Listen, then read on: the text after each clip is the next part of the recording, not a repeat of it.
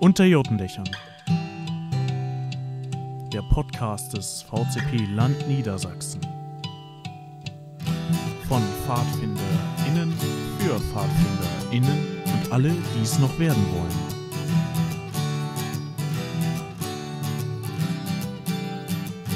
Herzlich willkommen bei uns in der Runde.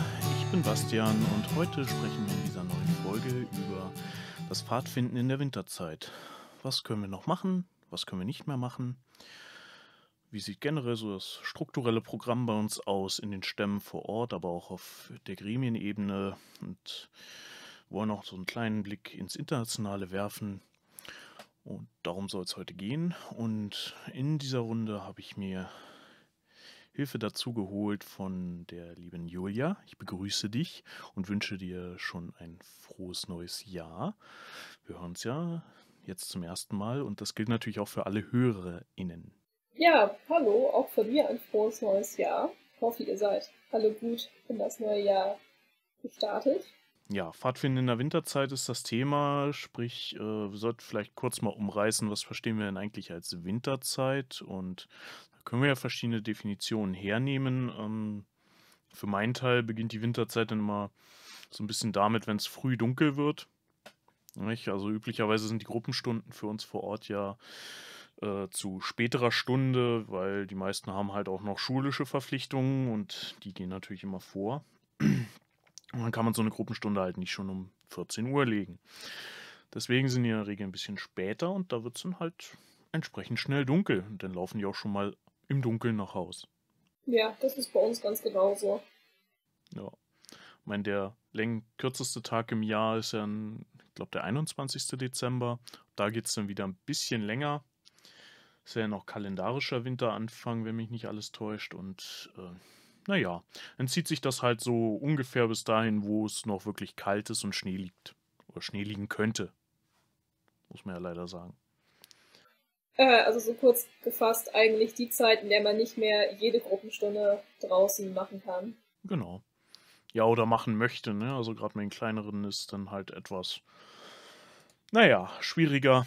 Die ziehen sich ja bekanntlich auch immer sehr warm an. Achten immer darauf, dass sie ihre Mütze anhaben, Handschuhe dabei und natürlich auch einen Schal um. Ihr kennt das sicherlich alle, wenn ihr zuhört und irgendwie mit Kindern zu tun habt. naja, bei den größeren ist dann schon deren Verantwortung. Da klappt das in der Regel auch besser. Ja, wie sieht denn das aus? Also, wir haben jetzt die Zeit umrissen und ähm, was steht denn da bei euch so im Stamm auf dem Programm? Ähm, ja, also natürlich ist Friedenslicht immer so ab den Herbstferien bei uns ein großes Thema. Da fangen wir immer an, das vorzubereiten und die Aussendungsfeier zu planen und integrieren da auch die Kinder immer mit und arbeiten mit denen dann ein paar Gruppenstunden thematisch zum Motto des Friedenslichtes kann man ja teilweise manchmal draußen noch was zu machen, ansonsten halt, ja, eben irgendwas basteln oder sonst irgendwie dazu ausarbeiten, je nachdem, was das Thema dann auch gerade so hergibt. Macht ihr das auch? Ja, also kommt immer auf die inhaltliche Agenda an. Wir versuchen natürlich auch zumindest mit den größeren immer möglichst lange draußen zu bleiben, wobei das hat dann auch mit den äh, kleineren einen gewissen Charme, dann nochmal so durchs letzte Laub äh, die springen zu lassen. Also geht bei uns halt ganz gut, weil wir halt auch eine riesen Eiche bei uns auf dem Gelände haben von der Kirche und ähm, da bleibt immer einiges an Laub auch liegen. Da fegt dann auch jemand zusammen und der macht das sicherlich in der Zeit zwei, dreimal dank der Kinder. Aber naja, so ist das eben. Ähm, Wenn es dann wirklich äh, draußen bescheideneres Wetter ist, dann muss man natürlich nach drinnen verlagern, äh, dass sie sich nicht alle was wegholen und dann stehen auch ja Theoriegeschichten an der Sache oder so alles, was man drinnen so noch üben kann, Knotenkunde oder mit den größeren gerne noch mal eine Projektarbeit. Wir haben jetzt im letzten Jahr Schwedenstühle gebaut, beispielsweise. Drin. Ja, drin. Also dazu muss man sagen, wir haben die komfortable Lage bei uns, dass wir im Gemeindehaus halt zwei Werkstätten haben. Ah, okay. Zwei Werkstatträume. Und ähm, das ist ähm, ja vorteilhaft in der Hinsicht. Von dato können wir uns da dann immer schön äh, hinsetzen in die Räume und da tatsächlich auch handwerklich was machen. Ja, ansonsten auch eine Zeit, um mal das Material zu sichten, mal auszusieben und naja, auch ein paar Spiele halt drinne zu machen. Ja. Ja, Kekse backen ist bei uns in der Vorweihnachtszeit auch immer hoch mit dem Kurs. Der Klassiker. Ähm, oder halt nach den Weihnachtsferien dann meistens äh, ein Schokofondue, das machen wir aber tatsächlich draußen über dem Lagerfeuer, so mit den Resten, die noch so von Weihnachten und Silvester und so übergeblieben sind. Und wer macht das wieder sauber? Ähm, die Gruppenleitung meistens. Ah, okay. Also die Kinder fangen an, aber weil wir das mit beiden Gruppen machen und die beide direkt hintereinander liegen, klappt das nur so mittelmäßig gut. So richtig überzeugend sauber ist es dann halt auch nicht immer. Genau, nach dem Jahreswechsel ähm, steht bei uns dann das nächste Public Event äh, an. Das ist dann der Thinking Day, auf den wir vorbereiten. Äh, geht ja in die Postkartenaktion auch schon im Januar los. Zumindest die Anmeldung dazu. Und wie üblicherweise machen wir auch mit unserer Meute, also mit den Kleinen, ähm, eine Übernachtung im Gemeindehaus. Ende Januar, Anfang Februar, so um die Zeit rum. Einfach damit die auch mal so eine Nacht weg sind. Ist dann immer ganz, kommt immer am Abend darum recht viel an gebasteltem raus. Ja. Ja. Nee, sowas machen wir bei uns eigentlich gar nicht. Das liegt aber auch so ein bisschen daran, dass das auch die Zeit ist, in der wir bei uns Stammes- und Bezirksversammlung machen. Hm. Ähm, weil wir da dann immer auch, ja, die Monate nutzen, das vorzubereiten und unsere Jahresplanung vorzustellen und einfach auch schon mal die ersten Sachen für Pfingstlager oder andere anstehende Sachen zu planen, die dann plötzlich irgendwie dann doch immer alle auf einmal kommen. Ja, klar. Was wir immer noch haben, ähm, wo wir zumindest oder Teile von unseren Stämmen gerne hingehen oder unserem Stamm gerne hingehen, ist der Hamburger Singewettstreit. Der ist ja üblicherweise auch im Februar ausgetragen. Naja, mal gucken, wie das jetzt dieses Jahr wird. Wir hoffen auf Besserung. Dies Jahr soll auf jeden Fall später stattfinden, habe ich gehört und nach Möglichkeit auch draußen, wenn ich das so richtig gelesen habe. Ich lasse mich da aber überraschen, wie das dieses Jahr aussieht. Aber traditionell gehörte das eigentlich auch noch so mit in die Winterzeit bei uns rein. Ja, stimmt, aber ihr seid ja auch relativ nah dran. Von uns wäre Hamburg schon wieder auch eine relativ weite Anreise.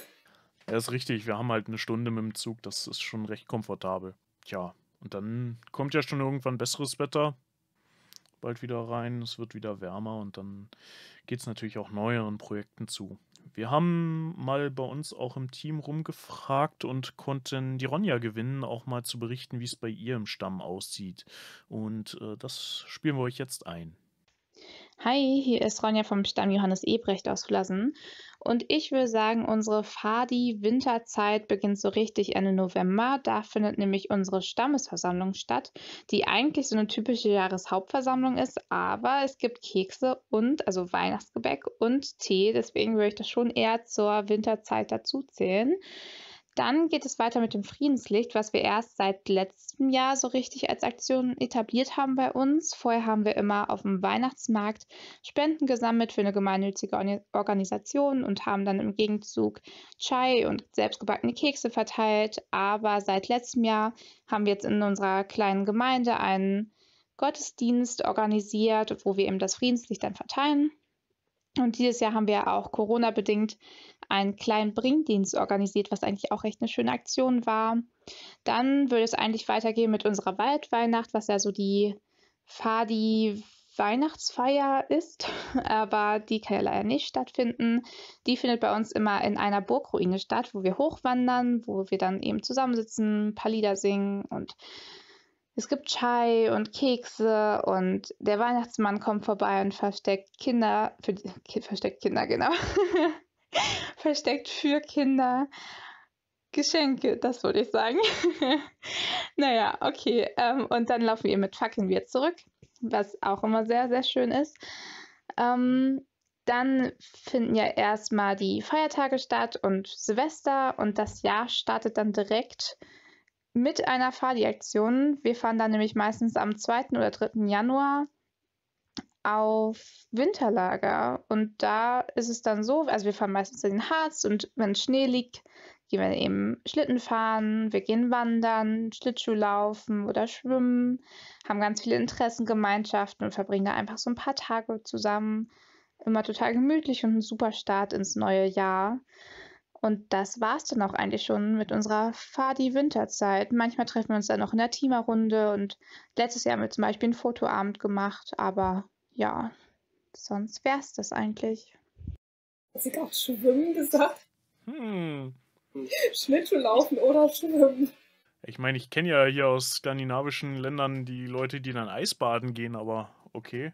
Ich glaube, das war nicht gemeint, aber es kam rüber, wie wir machen das vom Aggregatzustand abhängig, was gemacht wird. So, okay. Schon angepasst an den Klimawandel. Ja, Schlittschuhlaufen oder Schwimmen, je nachdem, wie der See aussieht. Naja, nichtsdestotrotz, ihr habt gehört, äh, da läuft also auch viel, auch draußen mit Wandern, mit ähm, Aktivitäten. Spurenlesen ist natürlich auch eine super Sache, gerade weil in der Zeit ja auch viel wild unterwegs ist. Ja, kann man schon ordentlich was machen.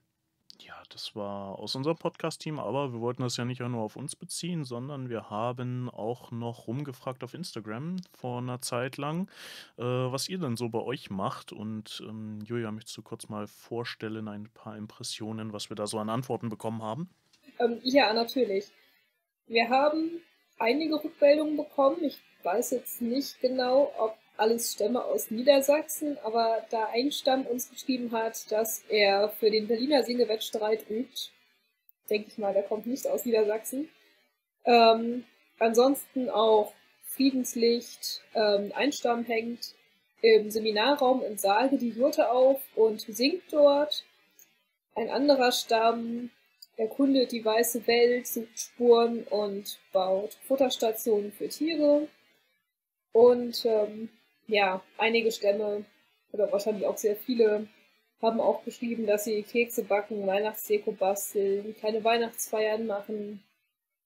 So das übliche Programm. Hm. Ja, deckt sich ja weitgehend mit dem, was wir auch schon gehört hatten. Also ja, trotz dessen, man muss sich von dem Wetter nicht abhalten lassen. Es gibt noch immer viele schöne Aktivitäten, die man, denen man nachgehen kann. Vieles, was man noch da in der Zeit lernen kann und um es dann später auch ähm, im Jahr bei den Lagern dann anzuwenden. Also auch in der Zeit geht uns das nicht aus. Und wir haben auch gehört, viele äh, kümmern sich dann auch inhaltlich wieder um ein paar Geschichten, auch auf Gremienarbeit bezogen auf die Weiterentwicklung des Stammes, Jahresplanung etc. pp. Und da haben wir ja quasi auch hier im Podcast Team Insider, deswegen haben wir auch da nochmal rumgefragt. Unter anderem beim Biane, der ist ja Koordinator für die Ranger Rover Stufe und üblicherweise gibt es ja zum Jahresende noch den Jahresausklang mit zwei großen R und einem Schrägstrich in der Mitte war halt für die Ranger Rover Stufe. Und was Bjarne zu sagen hat, äh, das äh, spielen wir euch jetzt hier auch einmal ein. Ja, hier ist Bjarne, er Koordinator des Landes Niedersachsen und so viel gibt es eigentlich gar nicht zu sagen. Wir haben seit Corona angefangen hat nicht wirklich was gemacht. Wir hatten ähm, im Sommer die eine Aktion, Co RR Ona, das war ganz lustig, der Wortwitz, mit leider relativ wenig Be Beteiligung, aber seitdem haben wir auch nicht mehr wirklich was gemacht. Eigentlich wollten wir jetzt im Winter den Jahresausklang machen. Also eine Veranstaltung, in, dem, in der die Leute aus der R-Stufe des Landes sich immer so im Jahr treffen, so am 28. bis 30. und quasi zusammen Silvester feiern. Halt vor Silvester und ohne Feuerwerk. Und das musste ja leider abgesagt werden dann durch Corona wieder, weil der zweite Lockdown kam. Light Lockdown. Und sich nicht mehr als zwei Menschen treffen durften. Was sehr schade war, weil wir hatten das eigentlich schon komplett fertig geplant, aber so ist halt dieses Jahr fast gar nichts entstanden in der Ranger Rover Stufe des Landes. Was sehr bedauerlich ist, wir hoffen nächstes Jahr, also dieses Jahr 2021 wird es besser. Ja, von der spezifischen Ranger Rover Arbeit haben wir aber auch noch ähm, Johanna gebeten, mal in der Landesleitung um ein Statement zu bieten. Und sie fasste das Ganze für uns dann so zusammen. Moin, für uns als Landesleitung gibt es auch ein paar Sachen, die immer im Winter anstehen, wobei dieses Jahr natürlich ein bisschen anders ist und insbesondere die üblichen Treffen nicht möglich waren. In den letzten beiden Jahren war es so. Der Winter fängt eigentlich an, wenn man im Kopf noch total im Herbst ist, weil dann schon die Jahresplanung für das nächste Jahr ansteht und der Weihnachtsversand gesammelt und verschickt wird. Ähm, kurz vor Weihnachten treffen wir uns im Landesleitungsteam dann gerne noch äh, zum Beispiel auf dem Weihnachtsmarkt oder bei schlechtem Wetter war es auch schon mal in einem Café, ähm, um zum einen so eine kleine Weihnachtsfeier zu haben und zum anderen das letzte Arbeitstreffen des Jahres noch dort durchzuführen. Ein echtes, echtes Highlight ist, dass im Dezember der ähm, EV-Vorstand viele Leute, die in der erweiterten Landesleitung arbeiten, also auf Landesebene aktiv sind, nach Hannover auf den Weihnachtsmarkt einlädt. Das ist wirklich sehr, sehr lustig. Ähm, wir hatten die letzten beiden Jahre im Dezember, Januar auch immer eine Landesteamklausur, also ein längeres Treffen mit den Mitgliedern der Landesleitung und den hauptberuflichen Bildungsreferenten, wo wir zum einen das letzte Jahr so ein bisschen rekapituliert haben und ähm, inhaltliche Schwerpunkte fürs nächste Jahr erarbeitet haben.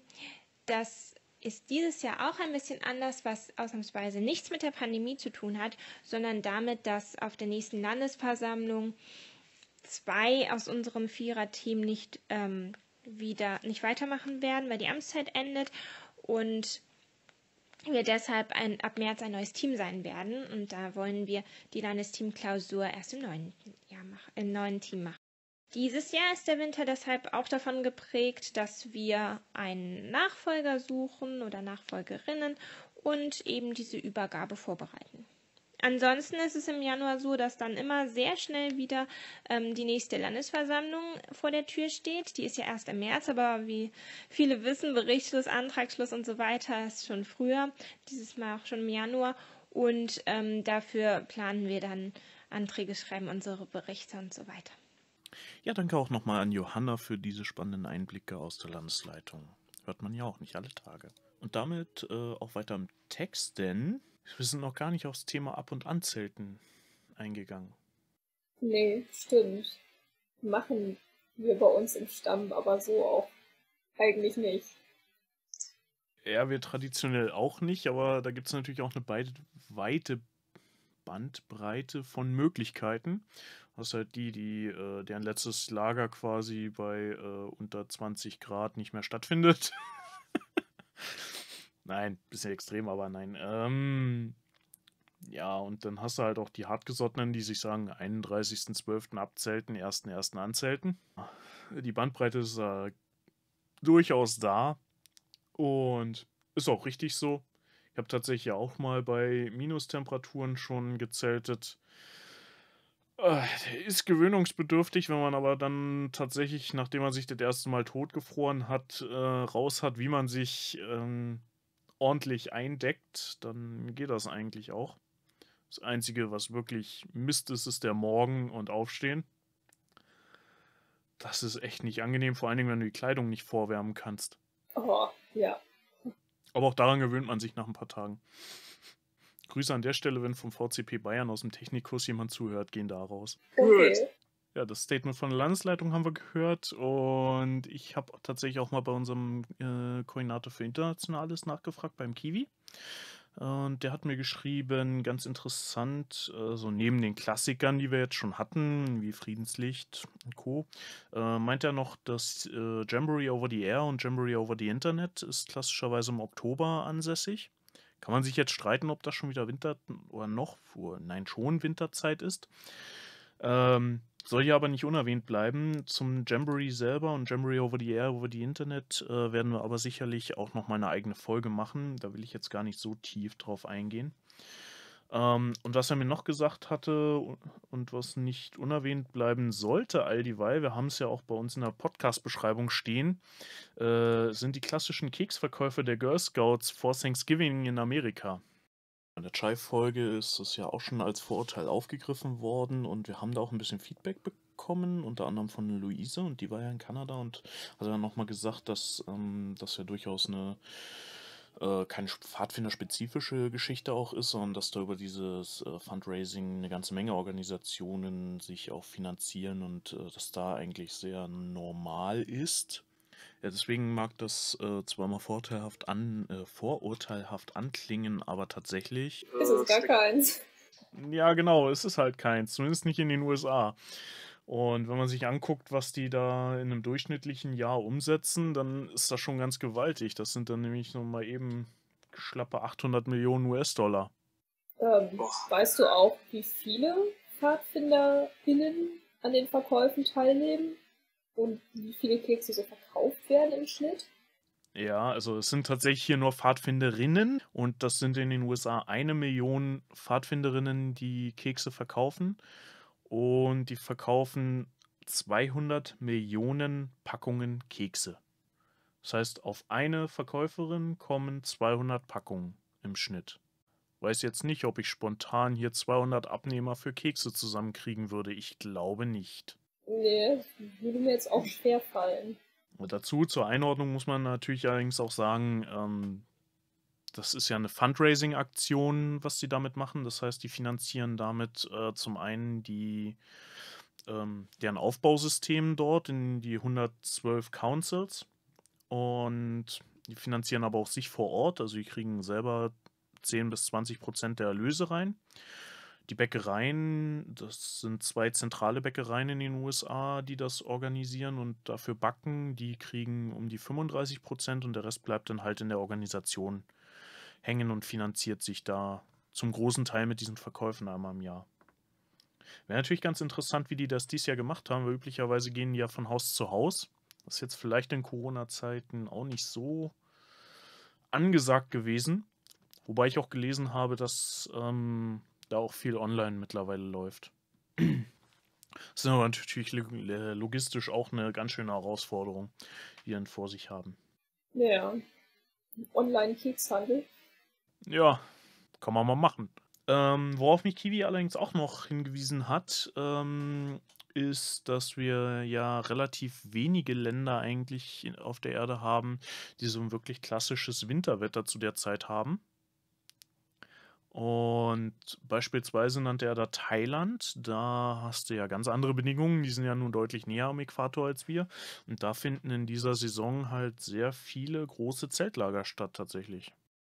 Genau, ich hatte auch versucht, was rauszufinden von Ländern, die jetzt überwiegend von kälterem Wetter äh, geprägt sind. Also Skandinavien wäre da so eigentlich der Klassiker in der Hinsicht. Äh, konnte jetzt aber gar nicht so wirklich viel rausfinden. Wenn ihr da also was wisst, ähm, irgendjemanden kennt oder Kontakte habt, dann lasst uns das wissen.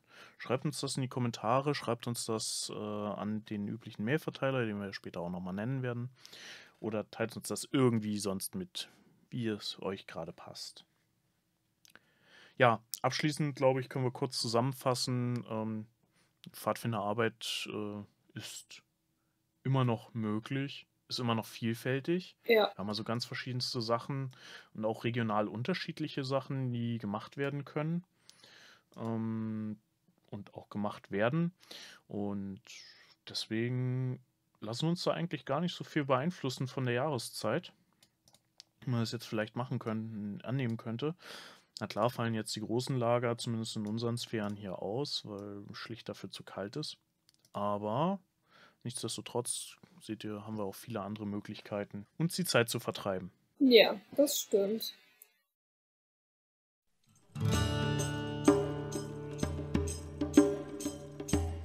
Das soll es jetzt mit dem thematischen Blog zum Thema Pfadfinden in der Winterzeit erstmal gewesen sein.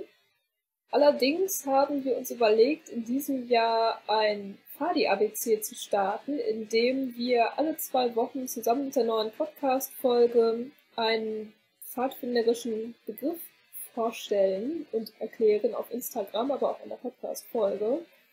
Und als ersten Begriff haben wir uns da die Aufnahme überlegt, ähm, als besonderes Damit meinen wir nicht Ritual. die Podcast-Aufnahme. Nee, ja, ähm, für die Aufnahme äh, als Pfadfinder in den Stamm, in die verschiedenen Stufen, die es so gibt.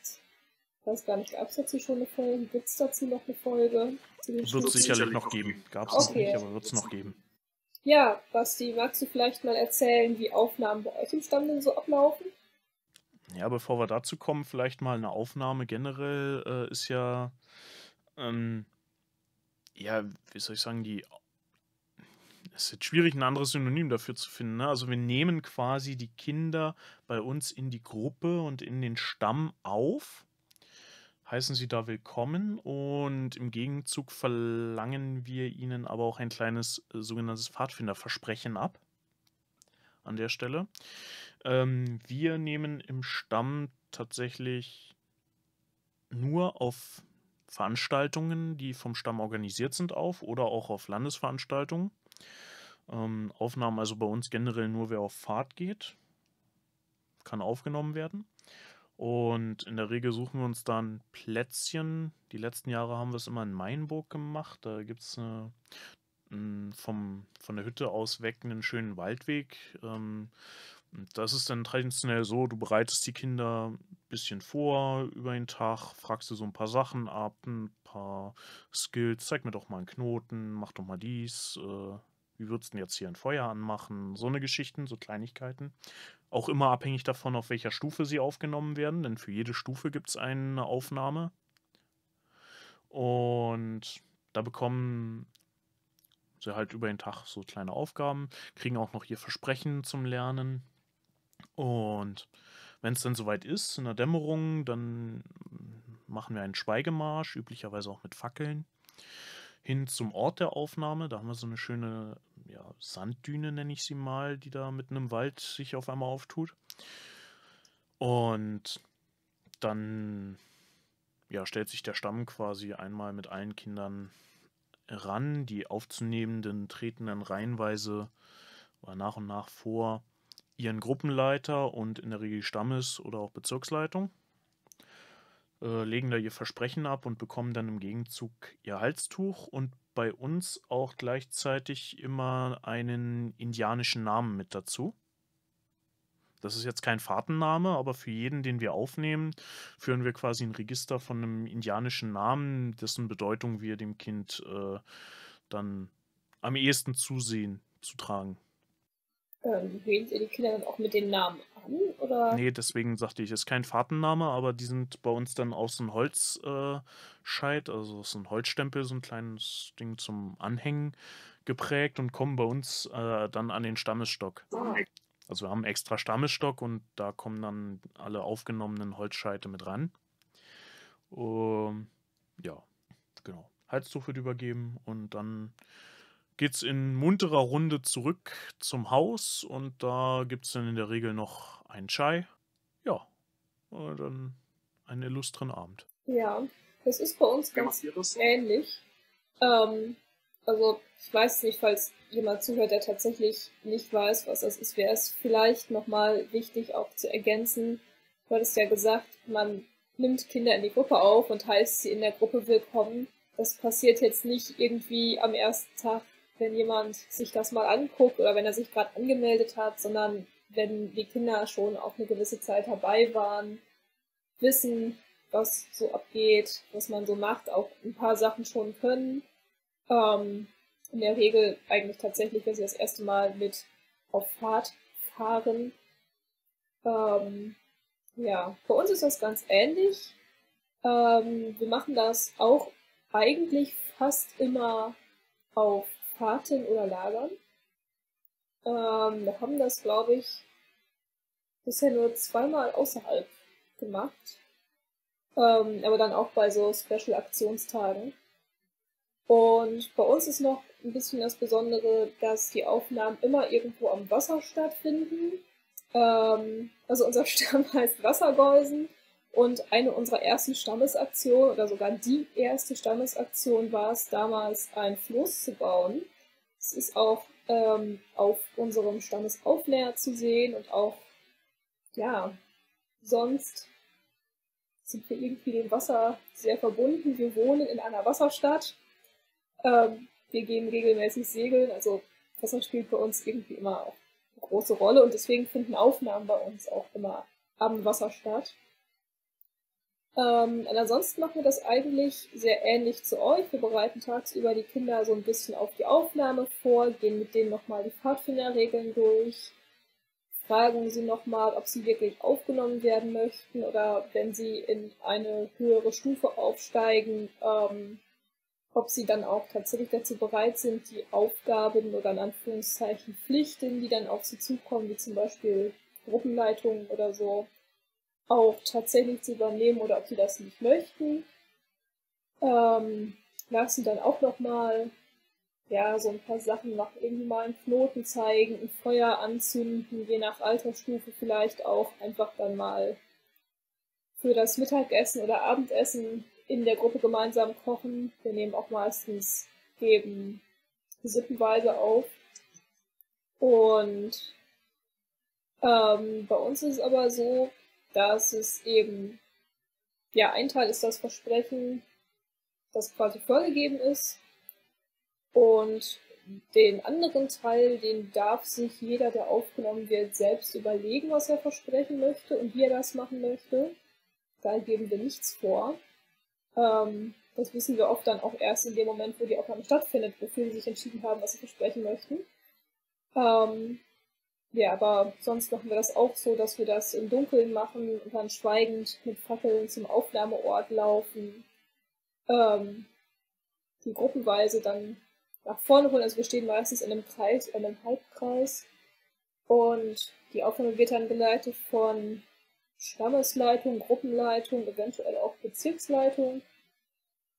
Ähm, die erzählen dann immer auch noch so ein bisschen was zur Geschichte der Pfadfinder, führen die Aufnahme durch. Und dann ist das so, dass ja, eben jeder sein Versprechen ablegt, das neue Halstuch bekommt, ähm, mit dem Pfadfindergruß nochmal begrüßt wird, jetzt nicht, aber quasi so beglückwünscht wird zur ja. neuen Stufe.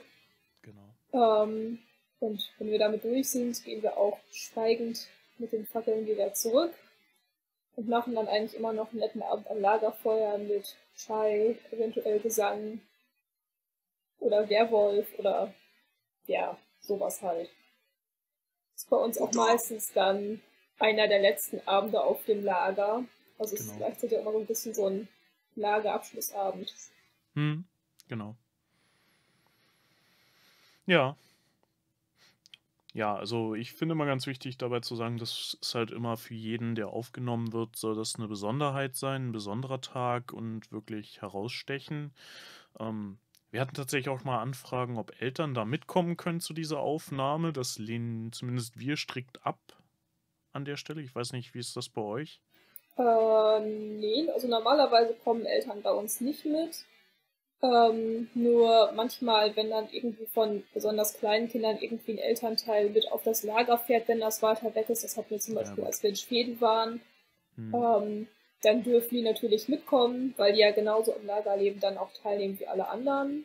Ja, klar. Ähm, oder ja, also in solchen Situationen ist das okay, aber es ist jetzt nicht so, dass wir Eltern dazu einladen oder denen irgendwie großartig vorher Bescheid sagen. Wir kündigen auch vorher nicht so richtig an, dass es Aufnahmen geben wird. Natürlich ist ah, okay. schon bekannt, dass zum Beispiel auf dem Pfingstlager immer aufgenommen wird, aber jetzt nicht so, dass wir das irgendwie vorher extra ankündigen. Die Kinder kommen dann halt mit einem neuen Halstuch zurück. So. Hm, okay. Ja, damit haben wir in dem Buchstaben A für diese Runde Fadi ABCs abgehandelt.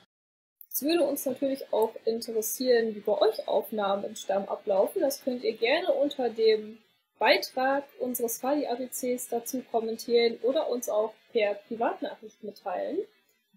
Ähm, wenn ihr weitere Anregungen habt für Podcast-Themen, die wir behandeln sollen oder Interviews, die wir führen sollen oder Fragen, die vielleicht jetzt im Rahmen dieser Folge aufgetreten sind, die könnt ihr uns gerne auf Instagram an unseren Account unterjurtendächer schreiben oder per E-Mail an eine E-Mail-Adresse, die ich gerade nicht genau weiß. podcast.vcpnds.de Ja, die E-Mail-Adresse.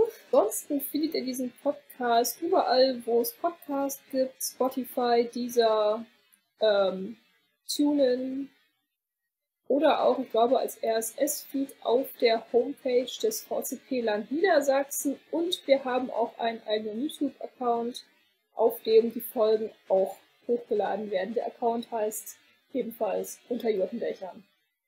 Wie überraschend. Absolut.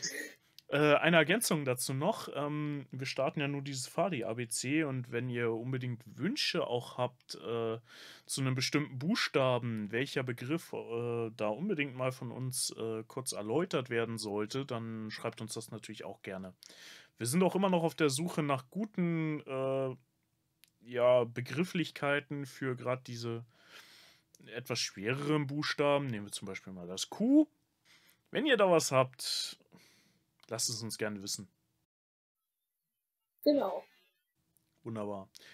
Dann haben wir es jetzt für den ersten Podcast in diesem neuen Jahr 2021. Und dann bleibt uns nur zu sagen, ja, bleibt gesund, passt auf euch auf und wir hoffen, dass wir uns bald alle auch wieder in größerer Runde sehen können.